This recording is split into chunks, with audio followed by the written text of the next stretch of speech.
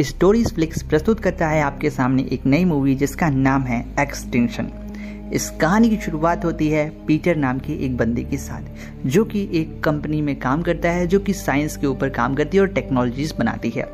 Peter को आए दिन कुछ ऐसे विजन्स आते रहते हैं, जैसे कि धरती को किसी ने तबाह कर दिया और एलियंस ने हमला कर दिया।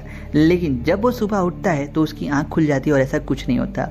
यह बात जब वो अपने फैमिलीज़ को बताता है तो कोई विश्वास नहीं करता और वो हर रोज सोता है, हर रोज उठता है और उसे वही सेम विजन आते हैं। और जब ये बात अपने फैमिली को बताता है, अपने दोस्तों को बताता है तो वो उसका मज़ाक उड़ाते हैं और उसे हंस के डाल देते हैं। अब इस कारण से उसकी बीवी और उससे बच्चे, उसके जो बच्चे थे उसे काफ़ी ज़्यादा दूरी बनाने लगते हैं। लोग, कुछ लोग कहते हैं पीचर को सदमे आते हैं, इसलिए वो कभी कभार ऐसा करते हैं। लेकिन पीचर को खुद नहीं मालूम होता कि वो कर क्या रहा है। आखिर उसे ऐसे विजन्स क्यों आ रहे हैं? एक दिन जब पीटर अपने ऑफ़िस में काम कर रहा होता है तो उसे उसके ऑफ़िस का कुलीग बताता है कि, दोस्त, जो तुम देखते हो, वो मैं भी देखता हूँ। और जो होने वाला है, वो हम दोनों को मालूम है। और तुम इस दुनिया में अकेले नहीं कि तुम्हें जो विजन्स आते हैं, वो विजन्स मुझे भी आते हैं। इसके बाद पीचर मानो पूरी तरीके से चौक जाता है और वो सामने बैठा आदमी उसे कहता है, इस धरती पे जितने भी लोगों को देख रहे हो, वो हमारे लोग नहीं हैं। वो अन्य प्रजाति हैं, जो दिखने में बिल्कुल इंसानों जैसे लगते हैं। इसके बाद पीटर जैसे उसे सवाल पूछता है, वो वहाँ से उठकर चल जाता है और उसे कुछ लोग बुला लेते हैं अपने पास और फिर वो कहाँ जाता है मालूम नहीं चलता है। इसके बाद पीटर अपने घर पे जाता है, जहाँ पर उसने अपनी वाइफ और अपनी दोनों बेटियों को बाहर ले जाने का प्लान बनाया होता है। लेकिन पीटर इस बात को सुनने के बाद वो काफ़ी टेंशन में हो जाता है और उस पर रिसर्च करने के लिए वो रात भर घर से बाहर रहता है। जब वो घर पर रात में पहुँचता है तो उसकी वाइफ और दोनों बच्चे काफ़ी नाराज़ हो जाते हैं और उनको मनाने के लिए वो कहता है, कल हम घर पे पार्टी रखेंगे। और उसके बाद दोनों बच्चे खुश हो जाते हैं और उसकी वाइफ भी कहती है, चलो पार्टी ही सही। फिर उसके बाद दूसरे दिन दिखाया जाता है पीचर अपने दोस्तों को बुलाया रहता है पार्टी में और वो काफ़ी आराम के साथ एक किनारे बैठा रहता है, जैसे कि उसका मन ना लगा हो, उसका दिमाग कहीं और ही था। और वो अपने दिन रात अपने विजन्स के बारे में सोचता रहता है कि तभी जो उसकी वाइफ रहती है, जिसका नाम रहता है एलिस वो अपने सहेली के पति को कहती है कि प्लीज़ आप मेरे हस्बैंड से जाकर थोड़ा बातचीत कीजिए, उनका थोड़ा मनोरंजन हो जाएगा। अब वो आदमी जब जाता है तो पीटर से पूछता है, और दोस्त कैसे हो? पीटर कहता है, मुझे जो विजन्स आते हैं, क्या तुम्हें भी आते हैं? कहता है, कैसे विजन्स मुझे कोई विजन्स नहीं आते हैं. फिर उसके बाद तभी आसमान में एक रोशनी आती है और पीटर को अपना विजन याद आ जाता है कि उसे भी ऐसी रोशनी दिखी थी। और इस विजन को देखने के बाद पीटर को लगता है, अब शायद जो जो होने वाला है वो सच होगा। इसे डेचा बू का कॉन्सेप्ट कहते हैं। भविष्य में होने वाली चीज़ों को आपको दिखने लगती है।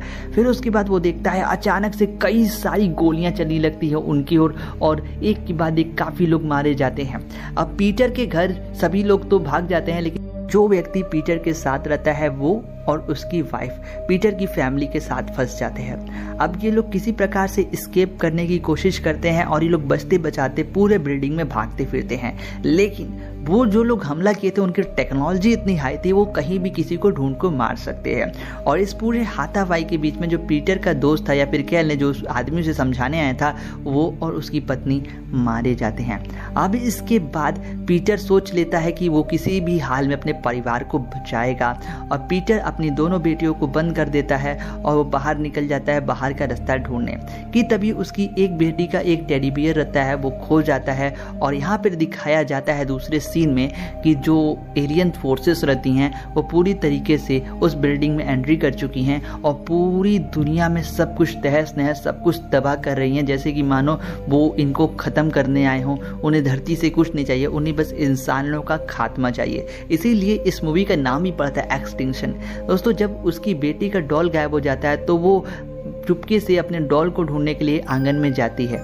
लेकिन जैसे ही वो डॉल को देखने आँगन में जाती है, थोड़ी देर बाद जो एलियन ग्रुप रहता है, उसका एक बंदा आता है जो कि बिल्कुल इंसानों की तरह चल फिर सकता है, वो उसे देख लेता है।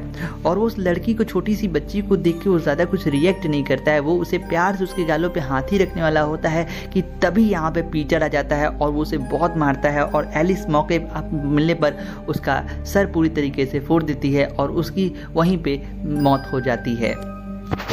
इसके बाद पीटर और एलिस फैसला करते हैं कि वो किसी भी हाल में यहाँ से निकलेंगे और पीटर बताता है कि उनके ऑफ़िस में कुछ ऐसी चीज़ें, ऐसी खुफिया प्रोजेक्ट में काम कर रही है, जैसे कि मानो उन्हें मालूम हो कि कोई एलियन हमला करने वाला है। और हर जगह उन्हें कई लोग बताते हैं कि बोर्ड भी लगा होता है दे आर कमिंग मतलब कुछ तो ऐसा था जो सरकार उनसे छिपा रही थी और कुछ बड़ा होने वाला है इस धरती पर। अब पीटर सोचता है कि वो जहाँ काम करता है वो कैसो भी करके वहाँ पहुँच जाएगा। और जिस बंदे को उन्होंने मारा रहता है, जो एलियन रहता है उसका वो लोग एक बंदूक ले लेते हैं जो कि फिंगरप्रिंट पे काम करता है। उसको लेकर वो लोग अपने साथ चल सकते हैं। यहाँ दिखाया जाता है दूसरी तरफ़ जो एलियन फोर्सेस रहती हैं, उन्होंने सब कुछ धरती पर तबाही मचाना शुरू कर दिया है। अब यहाँ से किसी प्रकार से पीटर और उसका परिवार निकल के भागता है, लेकिन उन्हें जब एक सुरंग में जाना रहता है कि तभी पीटर किसी प्रकार से अपने दोनों बेटियों को भेज देता है, खुद आ जाता है। लेकिन जो पीटर की वाइफ रहती है, वो उनमें से एक गोली का शिकार हो जाती है और उसकी हालत दिन प्रतिदिन खराब होने लगती है। यहाँ पर वो लोग किसी प्रकार से उस होल में जाते हैं और काफ़ी बचते बचाते वो लोग वहाँ तक पहुँचने की कोशिश करते हैं, जहाँ पर एक हेडक्वार्टर सरकारी हेडक्वार्टर था। वहीं दिखाया जाता है, पीटर ने जिस एलियन को मारा था, वो उठता है। उनका सूट इतना हाई टेक्नोलॉजी का रहता है कि वो फिर से अपने आप को ठीक कर लेता है और वो अपने रडार से देखता है कि उसका बंदूक कहाँ पर है। अब ये जो बंदूक रहता है, उसके अंदर एक जीपीएस फिट रहता है, जिसके कारण वो समझ जाता है, पीटर यहाँ पे है और वो उसके पीछे पीछे पीटर का पीछा करना शुरू कर देता है। यहाँ पर पीटर की जब वाइफ का थोड़ा तबीयत खराब होता है तो वो एक जगह उसे रोक देता है, फिर उसके बाद ये लोग बैठे रहते हैं साथ में। फिर यहाँ पे तभी वो जो एलियन रहता है, वो अपना बंदूक लेने आ जाता है उनसे, लेकिन पीटर ने किसी प्रकार से उस बंदूक को हैक कर लिया होता है और उस बंदूक को चलाकर उसे बहुत मारता है। फिर पीटर उसे गन पॉइंट पर रख कर कहता है कि तुम मेरी वाइफ को ले चलो, मैं जहाँ कह रहा हूँ, वरना मैं तुम्हें मार दूँगा। तो ऐसे में वो एलियन रहता है, जैसे मानो उसे इंसानों की भाषा समझ आती हो और वो उसे उठा लेता है और जहाँ जहाँ उसे चलने को लिए कहता है, वो उसे ले चलता है। कि तभी दोनों में रास्ते में हाथापाई एक बार फिर हो जाती है और पीटर उस आदमी को मारने वाला होता है कि तभी उसका मास्क उतर जाता है और यहाँ पे एक बहुत बड़ा झटका लगता है कि वो जो एलियन रहता है, वो और कोई नहीं, इंसान रहते हैं। अब ये बहुत शॉकिंग बात है कि इंसानों ने इंसानों के ऊपर हमला कर दिया। अब ये बहुत शॉकिंग बात है। फिर उसके बाद क्या था? पीटर के जितने साथी होते हैं, वो सरकारी वहाँ से निकल के आते हैं और वो उस आदमी को घेर लेते हैं। फिर उसके बाद उसको अंदर ले जाया जाता है बंदी बनाने और किसी प्रकार से एक बहुत सिक्योरिटी लेवल का दरवाज़ा होता है, उसके अंदर पीटर चला जाता है। इसी बीच जो पीटर की वाइफ रहती है, उसकी मौत हो जाती है और इसके बाद पीटर को कुछ नहीं समझ आता। लेकिन गौरतलब जो एलियन रहता है, जिसका इंसानों जैसा पूरा चेहरा रहता है, वो कहता है, रुको रुको, मैं इसे ठीक कर सकता हूँ, हमारे पास टेक्नोलॉजी मैं अकेले उसे बना सकता हूँ। वो लोग कहते हैं, ये झूठ बोल रहा है, इसे मौत के घाट उठा दो। लेकिन जो उसका पीटर रहता है, जो आदमी रहता है, वो कहता है, इसे एक मौका मिलना चाहिए। और वो पीटर उसको लेकर एलिस के साथ जाता है और यहाँ पे जो होता है, वो पूरे स्टोरी की क्लाइमैक्स को चेंज कर देता है। यहाँ पर दिखाया जाता है सारी फोर्सेस के पास एक प्लान रहता है। उन्होंने एक ट्रेन बनाया होता है जो कि एमरजेंसी के समय वो वहाँ से भाग सकें। लेकिन एमरजेंसी किससे? इंसान ने इंसान के ऊपर हमला किया तो आइए इसके आगे का ट्विस्ट आपको इस छोटी सी फ्लैशबैक में बताता हूँ। यहाँ पर जब वो एलियन रहता है, जो इंसान के रूप में रहता है, वो कहता है, पीटर से तुम अपने सीने पे एच बनाओ चक्कू से काट कर पीटर कहता है, मैं ऐसा क्यों करूँ? कहता है, अगर तुम अपनी वाइफ को ज़िंदा करना है तो तुम्हें ऐसा करना पड़ेगा. इसके बाद जैसे ही पीटर अपने सीने पे एच बनाता है तो उसके अंदर कई सारे वायर्स और एक रोबोटिक सिस्टम मानो कि मैकेनिकल कोई रोबोट हो पीटर खुद। और जब उसकी वाइफ का वो, वहाँ से पेट चिरता है तो उसके अंदर भी कई सारे तार गए होते हैं, मानो कि रोबोटिक पीटर पूछता है, ये क्या है? ये मेरे अंदर क्या है? दरअसल वो जानते ही नहीं होते पीटर जैसे लोग कि वो हैं कौन। वो बोलता है, तुम अपने आप को नहीं जानते? इसके बाद एक और कहानी ट्विस्ट आती है। दरअसल इसकी कहानी यहाँ से शुरू होती है। जो इंसान रहते हैं, वो आज से कुछ साल पहले कुछ उन्होंने एआई रोबोट्स बनाए होते हैं, जो कि बहुत एडवांस होते हैं और ये इंसानों की तरह सोच समझ सकते हैं। इनमें फीलिंग्स होती हैं सब कुछ रहते हैं। लेकिन पृथ्वी पे हालात बिगड़ते जाते हैं पॉल्यूशन आउट ऑफ़ कंट्रोल हो जाते हैं और पृथ्वी रहने योग्य नहीं रहती हैं। तब इंसान सोचते हैं कि उनके पास सारी टेक्नोलॉजीज़ हैं और ये सारे इन एआई रोबोट्स को छोड़कर मंगल ग्रह पर बस जाते हैं, जिसके कारण आप शुरू से जिन लोगों को देख रहे थे, वो कोई इंसान नहीं, वो सभी के सभी एक ए आई बेस्ड रोबोट थे, जो कि दिखने में बिल्कुल इंसानों की तरह था, इनके पास दिमाग था, इनके पास फीलिंग था, इनके पास सब कुछ था। और जिसे वो एलियंस मान रहे थे, वो और कोई नहीं रियल में इंसान थे। इसीलिए हमें एक सीन में दिखाया जाता है, वो जो एलियन रहता है, वो इस बच्चे के गले पे हाथ लगाता है प्यार से। क्योंकि इंसान तो इंसान होता है, उसे देख के भावना जगती है, लेकिन यहाँ पे पीटर कुछ समझ नहीं पाता और उनका पर हमला कर देता है। दरअसल इंसानों का प्लान ये होता है कि जब वो पचास साल पहले मार्स पे गए थे तो धरती पूरी तरीके से खत्म हो चुकी थी, वहाँ सांस लेने लायक नहीं थी। लेकिन अब इन ए रोबोट से धरती को रहने योग्य बना दिया था और ये इंसान मार्स से देख नहीं पाए। और इंसानों की टेक्नोलॉजी इतनी हाई थी कि उन्होंने सोचा कि हम जितने भी इस धरती पर ए रोबोट है, सबको खत्म कर देंगे एक्सटेंड कर देंगे इस दुनिया से और फिर से हम धरती पे आके अपना जीवन शैली शुरू कर देंगे। अब ये सारी बात इन रोबोट्स को नहीं मालूम थी क्योंकि जाने से पहले इंसानों ने ये सारी मेमोरी इन ए रोबोट से मिटा दी थी, जिसके कारण इन्होंने पचास साल पहले नई शुरुआत की थी। और अब इंसान चाहते हैं कि ये इन सारे ए रोबोट्स को मार कर फिर से यहाँ पे अपना जीवन शुरू कर दें। यहाँ पर जो इंसान रहता है, जो एलियन रहता है रियल इंसान रहता है, वो कहता है, हमारे कॉन्ट्रैक्ट में ये था ही नहीं कि हम बच्चों को मारे, लेकिन हमें खुद धोखा दिया गया है हम को नहीं अच्छा लगता कि आप लोग को मैं मारूं, लेकिन क्या करूँ? मेरी मजबूरी है। लेकिन वो बहुत अच्छा इंसान रहता है, वो किसी प्रकार से वायर कनेक्ट करके उसकी वाइफ को ज़िंदा कर देता है। वो किसी प्रकार से जान बचाते हुए भाग जाते हैं। वही उनकी जो दो बेटियाँ रहती हैं, वो एक सीढ़ी पर बैठी रहती हैं, अपने माँ बाप का इंतज़ार कर रही होती हैं कि तभी यहाँ पे दिखाया जाता है जो इंसानों की फोर्स थी, जो कि मार्स से आई थी। इनकी टेक्नोलॉजी इतनी हाई थी कि किसी को कभी खत्म कर सकते थे।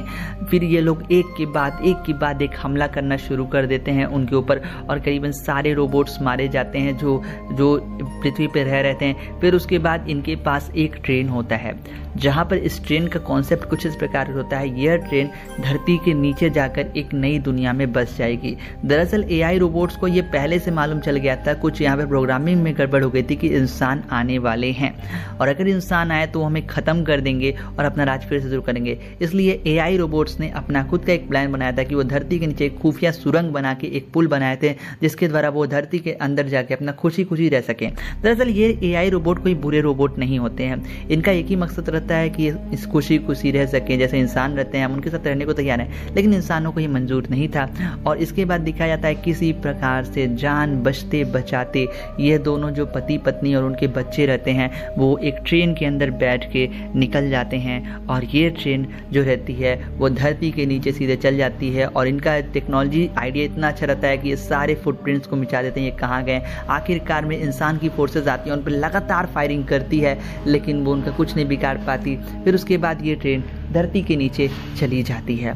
यहाँ पर ये कहानी एंड हो जाती है। कुछ कन्फ्यूज़न है आपके मन में, ज़रूर आए होंगे कि इंसान ऐसा क्यों करें दरअसल मैंने आपको पहले ही बता दिया बीच में कि इंसान पचास साल पहले मार्स पे चले जाते हैं।